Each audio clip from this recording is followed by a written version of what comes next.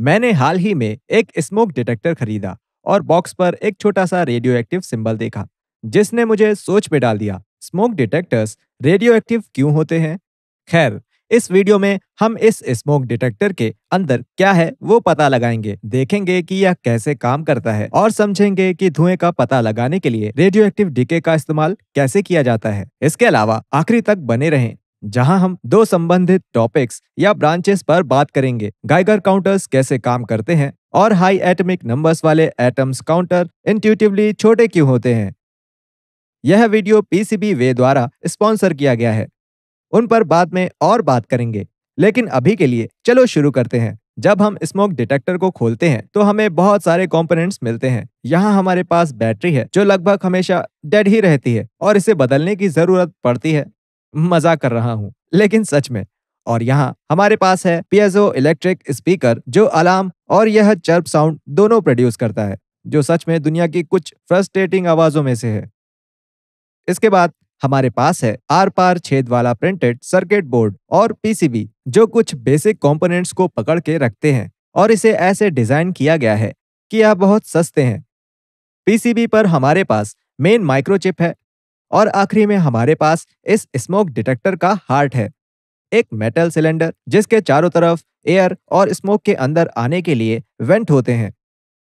इस डोम के अंदर एक छोटा सिलेंडर है, जिसके ऊपर एक मेटल की डिस्क और दूसरी नीचे की तरफ़ है, जिसमें प्लास्टिक उन्हें अलग रखता है और दोनों को पकड़ कर रखता है। नीचे की डिस्क के सेंटर में एक छोटा सा वेल है, जिसके अंदर 300 नैनोग्राम्स का आइसोटोप अमेरिजियम 241 है। जो रेडियो एक्टिव है और इसी वजह से पैकेजिंग पर इस सिंबल की ज़रूरत पड़ती है।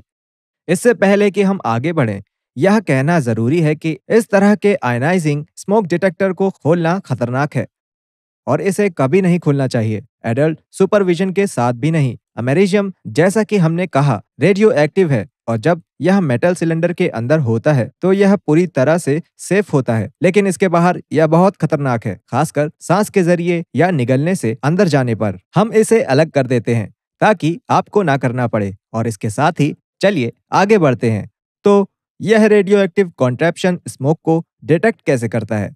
रेडियो एक्टिव अमेरिशियम 241 की थोड़ी सी मात्रा अल्फ़ा पार्टिकल्स को एमिट करती है, जो कि बहुत ज़्यादा एनर्जेटिक बहुत ही तेज़ी से मूव होने वाले हीलियम न्यूक्लियाई है, जिसमें दो प्रोटॉन्स दो न्यूट्रॉन्स और कोई इलेक्ट्रॉन्स नहीं है। और इसीलिए पॉजिटिवली चार्ज्ड आयंस हैं। कितने तेज? वे लगभग पंद्रह हज़ार किलोमीटर प्रति सेकंड की स्पीड से अमेरिजियम की न्यूक्लियस से बाहर निकलते हैं, जो कि लाइट की स्पीड का लगभग पाँच परसेंट है और इंटरनेशनल स्पेस स्टेशन 2000 गुना तेज है। या चीते से 419 हज़ार गुना तेज। काइनेटिक एनर्जी की इतनी ज़्यादा मात्रा ही रेडिएशन को खतरनाक बनाती है। वैसे, दूसरे तरह के रेडियो एक्टिव डीके बीटा और गामा डीके हैं, जो तेज़ी से चलने वाले इलेक्ट्रॉन्स और हाई एनर्जी वाले फोटॉन्स हैं। हालाँकि आयनाइजिंग स्मोक डिटेक्टर्स में अमेरिशियम 241 मुख्य रूप से अल्फ़ा पार्टिकल्स को जनरेट करता है। क्योंकि यह पॉजिटिवली चार्ज्ड हीलियम न्यूक्लियाई हद से ज़्यादा तेज़ी से बाहर निकलते हैं।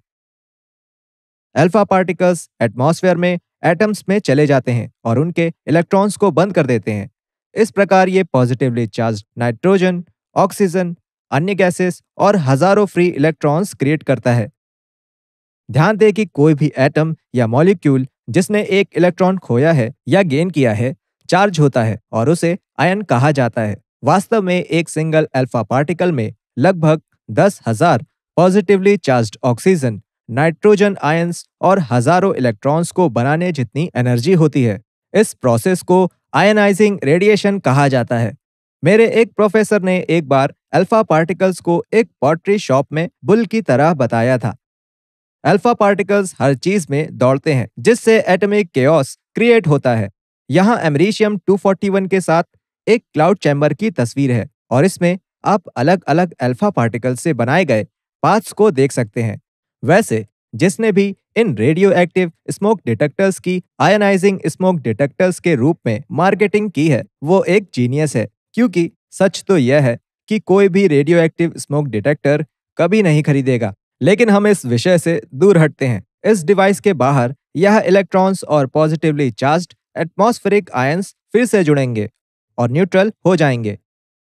हालाँकि इस कॉन्ट्रैप्शन में, जिसे आयनाइजेशन चैम्बर कहा जाता है, हम स्मोक का पता लगाने में मदद लेने के लिए अल्फ़ा डीके को इस्तेमाल करेंगे और ऐसा करने के लिए हम दो मेटल डिस्क का यूज़ करेंगे और बैटरी से वोल्टेज के ऊपर और नीचे के डिस्क पर लगाएँगे, जिससे कि ऊपर का हिस्सा पॉजिटिवली चार्ज हो और नीचे का नेगेटिव जैसा कि आप जानते हैं नेगेटिव चार्जेस और पॉजिटिव चार्जेस अट्रैक्ट होते हैं।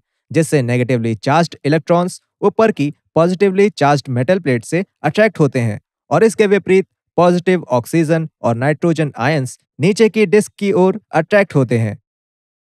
इलेक्ट्रॉन्स का फ्लो एक करंट है और इस चिप में सर्किटरी का इस्तेमाल करके हम ऊपर की प्लेट पर खींचे गए करंट को नाप सकते हैं, जो कि नॉर्मल कंडीशंस में होता है जब कोई स्मोक नहीं होता है। अगर आपको और एग्जैक्ट नंबर चाहिए तो इस स्मोक डिटेक्टर या अल्फ़ा सोर्स में अमेरिशियम की मात्रा हर सेकेंड लगभग सैंतीस हज़ार अल्फ़ा पार्टिकल्स एमिट करती है, जिसके परिणाम स्वरूप सैकड़ों लाखों इलेक्ट्रॉन्स को उनके एटम से खींच लिया जाता है। लेकिन यह केवल 50 या इतने ही पीको एम्स के बराबर होता है, जो कि छोटा है। यह अमेरिशियम 241 से होने वाले आयनाइजिंग रेडिएशन से बहने वाले करंट की अमाउंट के लिए एक बेसलाइन प्रोवाइड करता है। हालाँकि जब इन वेंट्स के माध्यम से सिलेंडर में धुआँ आता है तो पर्यावरण और परिस्थितियाँ बदल जाती हैं। स्मोक में बहुत ज़्यादा कार्बन मोनोऑक्साइड, कार्बन डाइऑक्साइड, ज़्यादा कालिक या ज़्यादा कॉम्प्लेक्स कार्बन स्ट्रक्चर्स, बिना जले हुए पदार्थ, वॉलेटाइल कंपाउंड्स और कई अलग तरह के कंपोनेंट्स होते हैं। इसी तरह जब आग से स्मोक, स्मोल्डरिंग कंबस्टिबल्स या जले हुए पॉपकॉर्न आयनाइजेशन चैम्बर में मौजूद होते हैं तो यह अल्फ़ा पार्टिकल्स के साथ साथ आयनाइज्ड एयर मॉलिक्यूल्स और इलेक्ट्रॉन्स दोनों को रोकता है। इस तरह इलेक्ट्रॉन्स को ऊपर की प्लेट तक पहुँचने से रोकता है और पॉजिटिव आयंस को नीचे की प्लेट तक पहुँचने से।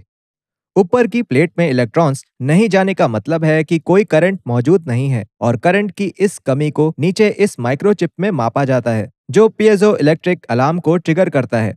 जिससे आप अलर्ट हो जाएँ कि आग लगी है या आप खाना बनाना नहीं जानते हैं। इस एप्लीकेशन में अल्फ़ा पार्टिकल्स का यूज़ किया जाता है। तीन प्रकार के रेडिएशन की वजह से अल्फ़ा बीटा और गामा अल्फ़ा पार्टिकल्स में सबसे बड़ी आयनाइजिंग पोटेंशियल होती है। दूसरे शब्दों में, वे सबसे ज़्यादा आयंस प्रोड्यूस करते हैं और जब कोई स्मोक नहीं होता है, तब आयनाइजेशन चैम्बर में करंट का फ्लो स्टडी होता है। इसके अलावा अल्फ़ा पार्टिकल्स को भारी मात्रा में एनर्जी के साथ बाहर निकाला जाता है और वास्तव में उन्हें किसी भी चीज़ से रोक दिया जाता है। ऐसा इसलिए है क्योंकि वो हीलियम न्यूक्लियाई है, जो बीटा या गामा पार्टिकल से कहीं ज़्यादा बड़े हैं।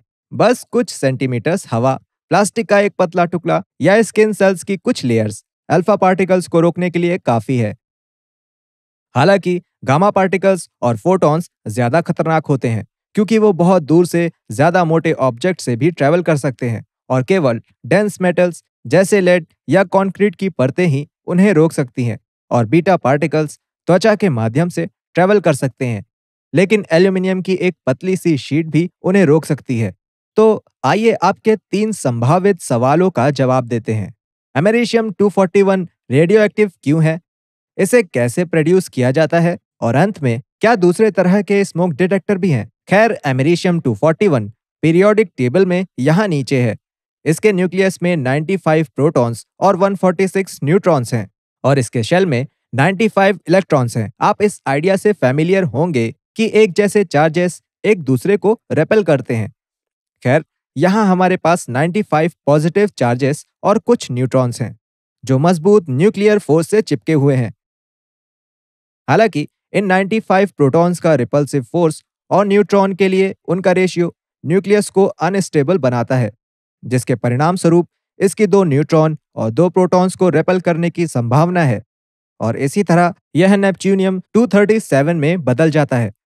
इस स्मोक डिटेक्टर में हमारे पास 300 नैनोग्राम्स एमरीशियम है, जो लगभग 750 ट्रिलियन एटम्स के बराबर है और 432.2 इयर्स के समय में यह नंबर एमरीशियम 241 के 375 ट्रिलियन एटम्स और नेपच्यूनियम 237 के 375 ट्रिलियन एटम्स में डिके हो जाएगा।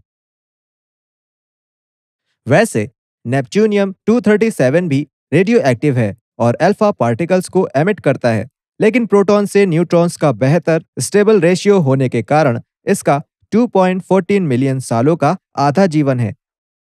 तो फिर चलिए दूसरे क्वेश्चन पर चलते हैं। अमेरिशियम 241 प्रोड्यूस कैसे होता है? खैर बल्कि इंटरेस्टिंग बात यह है कि यह न्यूक्लियर पावर प्लांट्स में प्लूटोनियम 239 और 240 के प्लूटोनियम 241 में न्यूट्रॉन एक्टिवेशन के साथ जनरेट होता है और फिर प्लूटोनियम बाद में बीटा पार्टिकल को एमिट करता है और एमरीशियम 241 में डिके होता है। इसका मतलब है कि सभी आयनाइजिंग स्मोक डिटेक्टर्स में कुछ ऐसे मटेरियल होते हैं जो न्यूक्लियर रिएक्टर से आते हैं। वैसे यह एमरीशियम एमरीशियम ऑक्साइड के फॉर्म में होता है और सेफ्टी के लिए इसके ऊपर गोल्ड की शीट होती है। हर एक स्मोक डिटेक्टर में इतनी कम अमाउंट में एमरीशियम होता है कि एक न्यूक्लियर पावर प्लांट से जनरेटेड एक सिंगल ग्राम से हज़ारों स्मोक डिटेक्टर्स या उससे ज़्यादा भी प्रोड्यूस हो सकते हैं। अंत में, क्या स्मोक का पता लगाने का कोई और तरीका है? और जवाब है हाँ। स्मोक का पता लगाने का दूसरा सबसे आम तरीका फ़ोटो इलेक्ट्रिक सेंसर और लाइट का यूज़ करना है। लेकिन इन दो तरीकों के अलावा भी कई तरीके हैं। फ़ोटो इलेक्ट्रिक स्मोक डिटेक्टर्स में एक चैम्बर में एक तरफ़ एलईडी और दूसरी तरफ़ एक सेंसर होता है। हालाँकि इस चैम्बर में लाइट का बाहर जाने का सीधा पाथ नहीं होता है और इस तरह सेंसर तक नहीं पहुँच पाती। चैम्बर में प्लास्टिक के एडिशनल टुकड़े जोड़े जाते हैं, ताकि इसे ऐसा बनाया जा सके कि रिफ्लेक्टेड लाइट भी सेंसर तक ना पहुँच सके। हालाँकि जब स्मोक होता है तो स्मोक के पार्टिकल्स एलईडी से लाइट को डिफ्लेक्ट करते हैं, इसे स्मोक में फैला देते हैं और इस तरह सेंसर थोड़ी सी लाइट को देख सकता है, जो स्मोक के अलार्म को शुरू करने के लिए ट्रिगर करता है। स्मोक डिटेक्टर के हर एक डिज़ाइन के कई फ़ायदे और नुकसान हैं। हम उन्हें यहाँ कवर नहीं करेंगे, लेकिन अगर आप चाहें तो विकिपीडिया के आर्टिकल्स पढ़ सकते हैं। दो ज़रूरी बात। पहला स्मोक डिटेक्टर्स लोगों की जान बचाते हैं। बैटरी को साल में एक बार बदलें, चेक करें कि वे काम करती हैं। और हालाँकि, एक तरह का रेडियो एक्टिव है। यह आपके घर में पूरी तरह से सुरक्षित है। लेकिन कई चीज़ों की तरह, यह भी खाने के लिए सुरक्षित नहीं है। दूसरा, हमारे एक्सप्लेनेशन में हमने स्मोक डिटेक्टर के आयनाइजेशन चैम्बर की सर्किटरी को आसान बनाया। वास्तव में ऊपर का मेटल सिलेंडर भी एक आयनाइजेशन चैम्बर है और सर्किटरी बीच वाली डिस्क के वोल्टेज को महसूस करती है और ऊपर वाले चैम्बर में होने वाली आयनाइजिंग एक्टिविटी की तुलना नीचे वाले चैम्बर में रेफरेंस आयनाइजिंग एक्टिविटी से करता है, ताकि यह पता चल सके कि धुआँ कब होता है। यहाँ एक स्कीमेटिक इसे एक्सप्लेन कर रहा है और ध्यान दें, कुछ डिज़ाइन में चैम्बर्स में वोल्टेज फ्लिप किए गए हैं। इसके बाद हम दो टॉपिक्स के बारे में बात करेंगे, जो स्मोक डिटेक्टर से रिलेटेड हैं, जो हैं अलग अलग तरह के एटम्स की काउंटर इंट्यूटिव साइज़ और गाइगर काउंटर्स कैसे काम करते हैं। इसलिए बने रहें, क्योंकि ये वास्तव में इंटरेस्टिंग टॉपिक है। आइए इस वीडियो के स्पॉन्सर पीसीबी वे के बारे में बात करें। पीसीबी सरल होने से लेकर, जैसे स्मोक डिटेक्टर के अंदर सिर्फ़ दो डजन होल्स और निशान के साथ बेहद कॉम्प्लेक्स हो सकती हैं। जैसे कि जीपीयूज के अंदर, जिनमें सैकड़ों कंपोनेंट्स कई लेयर्स अंदर चलने वाले हज़ारों ट्रेसेस और हज़ारों कनेक्शन पॉइंट्स वाले बॉल ग्रिड एरेज हैं। पीसीबी वे कॉम्पिटिटिव प्राइस और बेहतरीन स्टैंडर्ड्स के साथ सिंपल से लेकर कॉम्प्लेक्स तक किसी भी पीसीबी को मैन्युफैक्चर कर सकते हैं। इसके अलावा PCBWay PCB assembly CNC machining और थ्री प्रिंटिंग जैसी सर्विसेज़ भी देता है। साथ ही वायरलेस ईयरबड्स में पाए जाने वाले फ्लेक्सिबल पीसीबीज भी मैन्युफैक्चर करता है। पीसीबी वे से आप पाँच डॉलर जितनी कम कीमत में स्टैंडर्ड बोर्ड्स और 78 डॉलर में उससे ज़्यादा कॉम्प्लेक्स पीसीबी खरीद सकते हैं और फिर एक सीनियर इंजीनियर फिनिश्ड प्रोडक्ट में परफेक्शन इंश्योर करने के लिए खुद आपकी मदद करेगा। इसके अलावा आप कम से कम 30 डॉलर में बोर्ड असेंबल करवा सकते हैं और आप सीधे पीसीबी वे के इंजीनियर्स के साथ काम करेंगे, जो असेंबली प्रोसेस के दौरान पिक्चर्स भेज सकते हैं। नीचे डिस्क्रिप्शन में दिए गए लिंक का इस्तेमाल करके पीसीबी वेस की वेबसाइट पर नज़र डालें। ठीक है तो चलिए जल्दी से स्मोक डिटेक्टर से रिलेटेड दो टॉपिक्स पर बात करते हैं। एटमिक साइज़ और गाइगर काउंटर्स। जैसा कि आप जानते हैं कि एटम्स बहुत छोटे होते हैं, लेकिन क्या आपको लगता है कि जैसे जैसे एटमिक नंबर बढ़ता है, एटम्स का साइज़ भी बढ़ता जाता है? चलिए चेक करते हैं। यहाँ 11 प्रोटॉन के साथ सोडियम और यहाँ 95 प्रोटॉन्स के साथ एमरीशियम है। जब हम एम्पेरिकल मेजरमेंट्स के आधार पर एटॉमिक रेडियाई को देखते हैं तो सोडियम वास्तव में एमरीशियम से बड़ा होता है। यह बल्कि उल्टा है, क्योंकि आप सोचेंगे कि जैसे जैसे हम ज़्यादा प्रोटॉन्स न्यूट्रॉन्स और इलेक्ट्रॉन्स को जोड़ते हैं एटम्स का साइज़ करस्पॉन्डिंगली बढ़ता जाएगा तो फिर सोडियम अमेरिशियम से बड़ा क्यों है? खैर, इसका इस फैक्ट से लेना देना है कि पॉजिटिव चार्जेस और नेगेटिव चार्जेस एक दूसरे से अट्रैक्ट होते हैं, बहुत ही भारी मात्रा में फोर्स के साथ। एग्ज़ाम्पल के लिए, एक प्योर प्रोटॉन्स को एक ग्राम प्योर इलेक्ट्रॉन से 100 मीटर की दूरी पर रखा जाए। तो पॉजिटिव चार्जेस और नेगेटिव चार्जेस 1500 ट्रिलियन टन्स के फोर्स के साथ एक दूसरे को अट्रैक्ट करेंगे, जो कि 440 बिलियन सैटर्न वी रॉकेट्स के फोर्स के बराबर है। कल्पना नहीं कर सकते, है ना? एटम्स में भी कुछ ऐसा ही होता है। अमेरिशियम में 95 प्रोटॉन्स होते हैं और वे इन 95 इलेक्ट्रॉन्स को इतनी मजबूती से पकड़ते हैं कि एक अमेरिशियम एटम का रेडियस सोडियम के साइज़ से केवल थोड़ा सा ही छोटा है। यहाँ पीरियोडिक टेबल का थ्री रिप्रेजेंटेशन है और हर एक एलिमेंट की हाइट दिखाती है कि हर एक एटम कितना बड़ा है। एटॉमिक रेडियस में साइज़ में बढ़त उदाहरण के लिए है। आर्गन से पोटेशियम तक, इलेक्ट्रॉन्स, शेल्स की नंबर और कॉन्फ़िगरेशन में बढ़त के परिणाम स्वरूप है, जबकि हर एक कॉलम के नीचे के रेडियस की बढ़त इनर शेल इलेक्ट्रॉन्स के आउटर शेल इलेक्ट्रॉन्स को रेपल करने के कारण होती है, और लेफ़्ट से राइट रेडियस में कमी न्यूक्लियस में प्रोटॉन्स और शेल्स में इलेक्ट्रॉन्स के बीच अट्रैक्टिव फोर्स के कारण होती है। एक इंटरेस्टिंग बात यह है कि एमरेशियम 241 सोडियम से थोड़ा छोटा है लेकिन इसमें प्रोटॉन और न्यूट्रॉन की संख्या लगभग 11 गुना है। और इसके कारण एमरेशियम सोडियम की डेंसिटी से 14 गुना ज़्यादा है। डेंसिटी में यह ट्रेंड बाकी एलिमेंट्स पर भी लागू होता है। यहाँ ऑजमियम है। इसका एक छोटा सा एटमिक रेडियस है और यह नेचर से पाए जाने वाले सभी एलिमेंट्स में सबसे डेंस है। इस एपिसोड को समाप्त करने के लिए आइए गाइगर काउंटर्स के बारे में जानते हैं। संक्षिप्त में कहें तो गाइगर काउंटर्स के फंडामेंटल प्रिंसिपल्स स्मोक डिटेक्टर से मिलते जुलते हैं। इस ट्यूब में हमारे पास एक आयनाइजेशन चैम्बर है। माइका से बनी इस खिड़की से रेडिएशन एंटर करता है और गैस से इलेक्ट्रॉन्स को हटाता है। खासकर आर्गन हम एक सेंट्रल रॉड पर पॉजिटिव वोल्टेज लगाते हैं। फिर आसपास के सिलेंडर में नेगेटिव वोल्टेज लगाते हैं और नतीजन ionised argon negatively charged wall की तरफ़ आता है, जबकि इलेक्ट्रॉन्स सेंट्रल रॉड की ओर ट्रेवल करते हैं। लगभग 500 से 1000 वोल्ट पर यूज़ किया जाने वाला वोल्टेज ज़्यादा मज़बूत होता है और यह हाई वोल्टेज आयनाइजेशन का एक एवलांच बनाता है, जो बीटा पार्टिकल्स का पता लगाने के लिए ज़रूरी होता है, क्योंकि उनके पास अल्फ़ा पार्टिकल्स जितना आयनाइजिंग पोटेंशियल नहीं होता है। फिर हम करंट को मापते हैं और जब करंट में स्पाइक होता है तो इसका मतलब है कि कुछ रेडिएशन पार्टिकल्स खिड़की में घुस गए हैं और चैम्बर में कुछ गैस को आयनाइज्ड कर दिया है। गाइगर काउंटर्स के लिए बहुत से और डिज़ाइन एलिमेंट्स हैं। लेकिन क्योंकि इसके फंडामेंटल प्रिंसिपल स्मोक डिटेक्टर्स के समान हैं, हमें उनके बारे में बात करना इंटरेस्टिंग लगा। स्मोक डिटेक्टर्स एटॉमिक साइजेस और गाइगर काउंटर्स के लिए यह आज काफ़ी है।